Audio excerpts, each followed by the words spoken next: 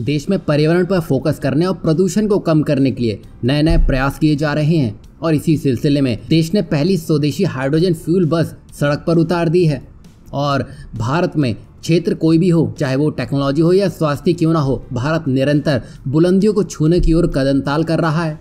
वहीं केंद्र मंत्री जितेंद्र सिंह ने भारत की पहली स्वदेशी रूप से विकसित हाइड्रोजन ईंधन सेल बस की शुरुआत कर दी है। और इस बस को वैज्ञानिक और औद्योगिक अनुसंधान परिषद, यानी कि सीएसआईआर और निजी कंपनी के लिमिटेड ने मिलकर तैयार किया है, जहाँ दुनिया के बड़े बड़े देश इसमें बस संशोधन ही कर रहे हैं। वहीं भारत ने अपनी स्वदेशी हाइड्रोजन फ्यूल बस को सड़क पर दौड़ा दिया है। वहीं केंद्र मंत्री जितेंद्र सिंह ने ट्वीट में प्रधानमंत्री नरेंद्र मोदी के हाइड्रोजन विजन का ज़िक्र करते हुए कहा है कि हाइड्रोजन विजन भारत के लिए अहम है और इसके ज़रिए आत्मनिर्भर भारत और सुलभ स्वच्छ ऊर्जा सुनिश्चित की जा सकती है और इसके अलावा जलवायु परिवर्तन के लक्ष्यों को भी पूरा किया जा सकेगा और इस बस को चलाने के लिए ईंधन सेल हाइड्रोजन और वायु का इस्तेमाल करके बिजली बनाता है, जिसकी वजह से बस से सिर्फ़ पानी ही निकलता है।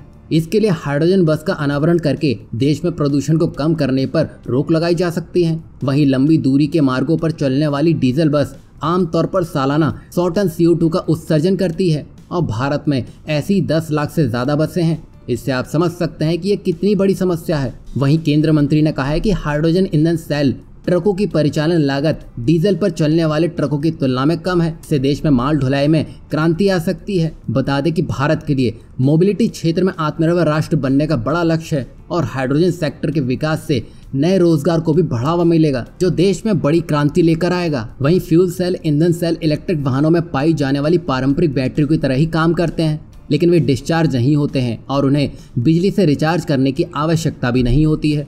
जब तक हाइड्रोजन की आपूर्ति है, तब तक वे बिजली का उत्पादन जारी रखते हैं। Hydrogen fuel cell electric vehicle, यानी कि एफ़ का सबसे बड़ा फ़ायदा यह होता है कि ये कोई भी कार्बन या गंदा धुआँ नहीं छोड़ती है।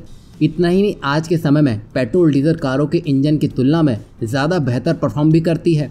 आमतौर पर इसका मेंटेनेंस भी काफ़ी किफ़ायती होता है और सुलभ होता है। और इस तरह के वाहन का एक और बड़ा फ़ायदा यह है कि जहाँ बैटरी से चलने वाली इलेक्ट्रिक बस को चार्ज करने में घंटों लगते हैं। वहीं हाइड्रोजन फ्यूल सेल वाहनों को मिनटों में रिफिल किया जा सकता है। अब यहाँ भारत एक बड़े विकास के लिए अग्रसर हो चला है, जिसकी शुरुआत उसने कर भी दी है।